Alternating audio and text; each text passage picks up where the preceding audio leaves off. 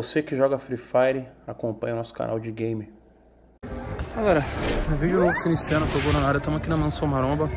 Hoje eu vou contar uma história pra vocês que aconteceu não na minha vida, mas da vida de uma pessoa que eu conheci, né, que sempre me acompanhou, sempre estava junto, conheceu minha mãe, né, dormiu em casa já, já recebi ela em casa, ficou dois dias em casa. É uma história mais ou menos assim, depressão, chamada depressão o poder da depressão. Né? Eu nunca tive, não tenho, não quero ter e faço o possível para isso não acontecer. Quando minha mãe faleceu, meus parentes, amigos próximos, né, ficaram com medo, até os meus seguidores deu entrar em depressão. E o que me tirou da depressão foi o trabalho, foi a palavra marcha. Então minha mãe se foi num dia, no outro eu já estava trabalhando, treinando, gravando vídeo, não parei, né? Moro na mesma casa, né? Tem pessoas que falam, mano, como é que você consegue morar na mesma casa que sua mãe fios móveis? Tudo me lembra ela, galera. Tudo, tudo que eu faço me lembra ela, mas é o marcha, é o trabalho, é a constância que me livrou dessa palavra, dessa doença, né? Dessa, dessa parada que eu não sei, não, não, nunca tive. Então a gente vai conversar com vocês com uma pessoa que teve, uma pessoa que eu tive contato, uma pessoa que eu me relacionei, uma pessoa que, que que, que eu tive contato, sabe? E quando eu, ela me chamou, é... Ô Toguro, não me chamou não, fui ver o Insta dela, ela tava muito diferente véio, do que eu havia conhecido ela antes. Muito diferente, totalmente diferente. Diferentona mesmo. Então a gente vai conhecer a história hoje da Maju, né? Ela chegou a competir e vamos ver o que aconteceu com ela. Então hoje é a história da Maju, né? E aí, minha filha? Como tu tá? Tá bem? Explica pra galera quem é tu, o que, que, que, aconteceu na sua vida. Então, vou contar um resumão, porque aconteceu muita coisa. Um resumão. É. Eu sempre fui super dedicada.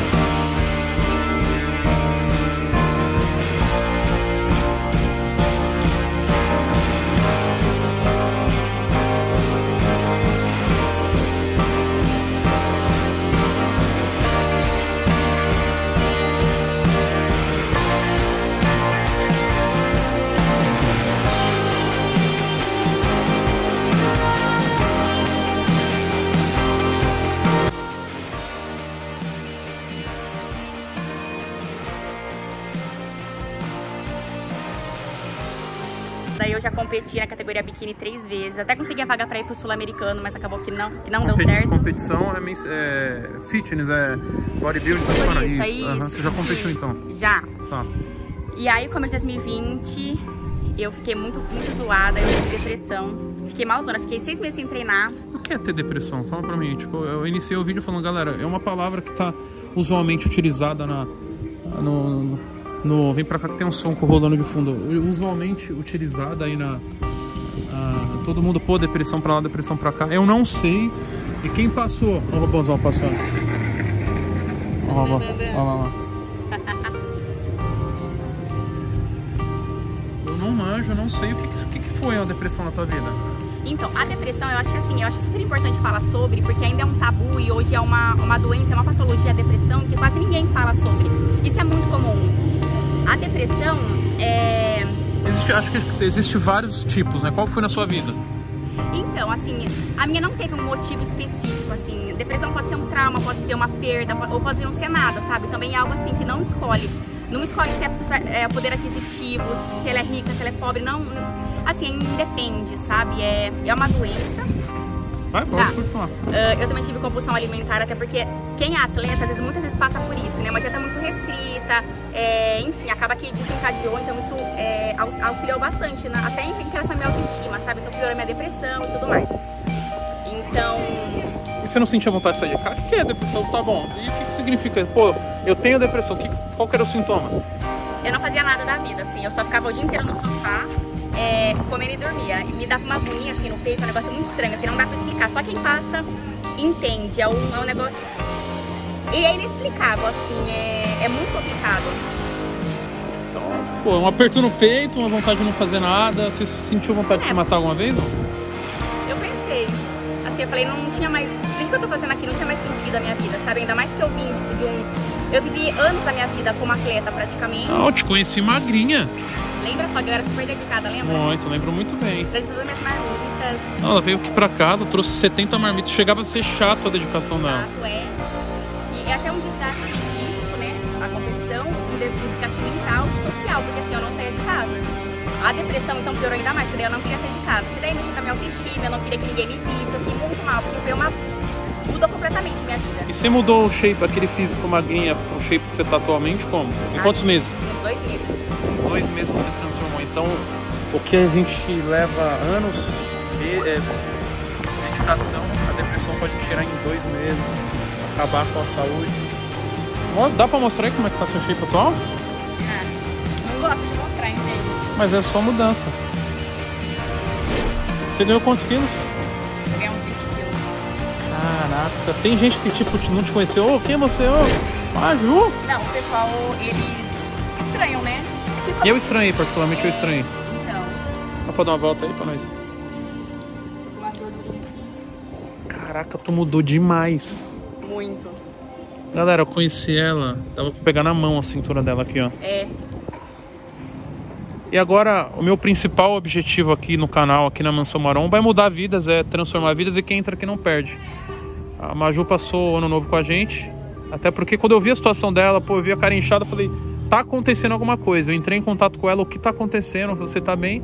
E ela explicou tudo mais, eu falei, não quer vir pra Mansão Maromba? Aí ela falou, ah, dia 20 de janeiro, eu falei, não, pega as suas coisas e vem. Passou ano novo com a gente. Eu quero fazer um, um, um pedido tanto para vocês que acompanham o canal quanto para tu, pra gente colocar sua mente no lugar e mudar esse físico. Você topa? Eu topo. Vamos Então- fazer um. É até é a motivação pra mim e pra, pro pessoal Então você tem 20 quilos para perder. 20 quilos. Você acha que consegue perder isso em quantos quilos? Sem loucura, sem entrar É, em. uns dois meses perde, Todd. Será? Vamos fazer esse projeto? Vamos tentar? Eu vou jogar esse projeto na, mans- na- no canal da, da, da IBTV. Porque o meu canal não consigo mostrar o treino, mostrar a dieta, mostrar isso, aquilo. Mas no canal da IBTV a gente vai mostrar essa parte. E todos os projetos não dependem de mim, depende da pessoa envolvida. Então, estamos aqui, eu dei a oportunidade de ser visto, eu dei a oportunidade de acontecer. E vamos ver, dois meses para mudar de vida. Demorou, eu me proponho. Caraca, fazer eu conhecer lá. E sua família, sua mãe ficou preocupada, seu pai, seus. seus... Deprê? É, porque é pesado, Assim, né, nossa, mano? quem, pa- quem passa, quem vive com alguém que tem depressão, sofre junto, Fica sabe? na foto É, da capa. Mas assim. Fica pra cá pra eu bater a foto de capa já pô, antes e depois. Pode falar. Lá nosso canal é bem amador mesmo, vai. É, é muito complicado, assim, quem vive com quem tem depressão sofre junto, sabe? Ainda mais meus pais, então assim, só que eles me apoiaram muito, eles entenderam muito, porque quando a pessoa tá doente, é, a maioria das pessoas não consegue entender direito, né? Não sabe muito o que se passa, tiveram muita paciência, não só meus pais, mas meus amigos também, sou muito grata. É nessa fase que a gente vê que são nossos amigos de verdade. Mas assim, é, eu também fui em médico, né? Tem uma psiquiatra. Existe remédio pra isso? E hoje você tá com depressão ainda? Eu não tô mais tratado depressivo. O que me deixa muito chateada hoje é em relação à minha autoestima mesmo, né? Porque eu Então você olha no espelho e fala. não gosto. Galera, eu conheci ela, ela era bitolada em dieta e treino. A galera chegava a ser chato. 5 horas da manhã, eu Acordava fa... 4h20 da manhã. 4h20 ela lá fazendo bike. Aí eu mandando, "Ô, tá bem? À tarde metia. E... e como é que tá a faculdade, educação física? Vou terminar esse ano. Terminar Eu tô esse aqui na casa, mas eu tenho aula online pra Online. avaliar. Galera, então. Caraca, mano. Então, depressão é uma doença, depressão é algo sério, depressão é algo atual. Né? E o que você acha que poderia ter evitado? Falar, ó, tô tendo depressão, mas se eu fizesse isso, não dá pra evitar, é inevitável. Então, Não é- escolhe, né, uma É, do- é, muito, é muito individual, sabe assim? Nem todo mundo tem depressão tem os mesmos sintomas, sabe? Ou é sempre igual. Não, às vezes acontece, não tem. É, qualquer órgão pode adoecer, inclusive nosso cérebro. Mesmo que alguns não acreditem, mas pode ter um motivo ou não. Caraca, imagina, mano, Toguro.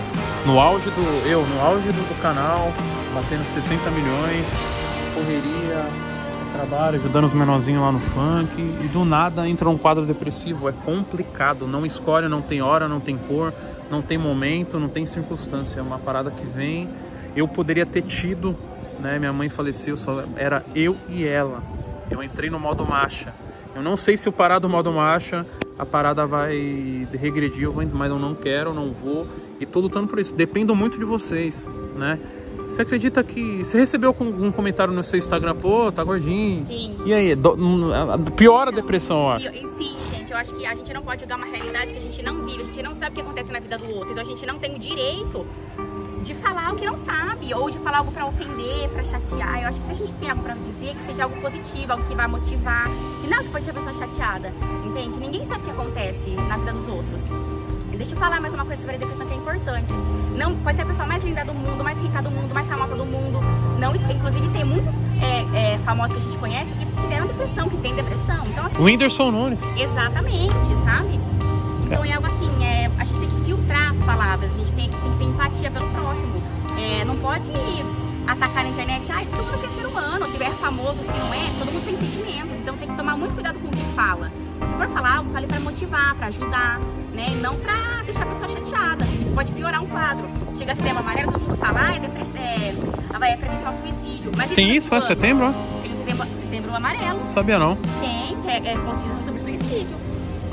Aí não adianta nada você postar no setembro amarelo, ai, vamos é, conscientizar, prevenir o suicídio e depois ficar atacando, cancelando todo mundo na internet, sabe? É, galera, de vez em quando eu levo uns foguetão no- nos comentários que é pesado. Hoje a pior arma que você tem pra bater alguém é o olhar, né? E as palavras na internet. Eu recebo foguetão aí, tipo, mano, um exemplo. Nossa, o Toguro só quer hype esse bosta, esse verme lá, ó, perdeu a mãe, tá fazendo hype da mãe. Mano, isso entra na mente, se você ficar ali, puta, história, minha mãe, é hype, nossa, usei a imagem da minha mãe. Mano, você entra na parada, só eu vivi a parada com a minha mãe, só eu sei, só eu posso dizer. Eu sou um ser humano, galera. Então imagina você entrar na sua internet e ver, ô, seu gorducho. É eu, seu bosta. E aí, seu lixo humano.